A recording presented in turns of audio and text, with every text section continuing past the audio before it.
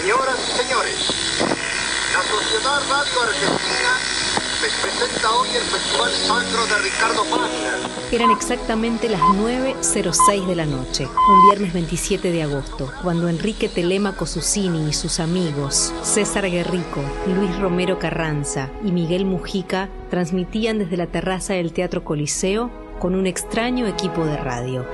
Menos de 100 pares de orejas escucharon aquella noche la ópera Parsifal, pero dicen que fueron las primeras de miles y millones a lo largo y ancho de todo el mundo en escuchar una transmisión radial. Aquellos locos de la azotea, como se los llamó después, no eran más que unos radioaficionados amantes de la música clásica. Susini había traído de Francia unos transmisores que encontró y escondió debajo de su sobretodo. Así empezó la aventura que continuó con la construcción de una antena de 40 metros de alto, un micrófono, una bocina y un equipo transmisor de 5 vatios de potencia. Cuatro años después, en octubre de 1924, Argentina le ganaba a Uruguay 2 a 1 con el primer gol olímpico de la historia.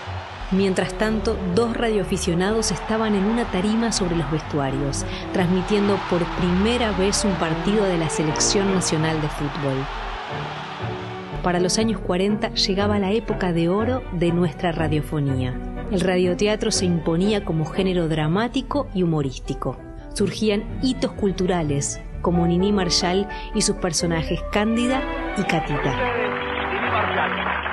La radio sería también el escenario central de la campaña electoral de 1946, que llevaría al triunfo a Juan Domingo Perón. Rapidísimo de Héctor Larrea en 1967 cambiaría todas las mañanas argentinas con el formato de programas matutinos. En la década del 70 aparecían las primeras FM o frecuencias moduladas y la irrupción del rock y el pop encontraba su espacio. Para fines de siglo, la radio ya había llegado a todas las casas, a todas las edades, a todos los gustos. Ya era parte fundamental de nuestra cultura y contracultura. Dijeron que no iba a sobrevivir a la llegada de la televisión, pero también dijeron el silencio es salud Argentino. y vaticinaron su fin cuando Internet cambió la comunicación para siempre. Pero la radio no hizo más que fortalecerse para ser ese lugar de expresión único que seguimos escuchando.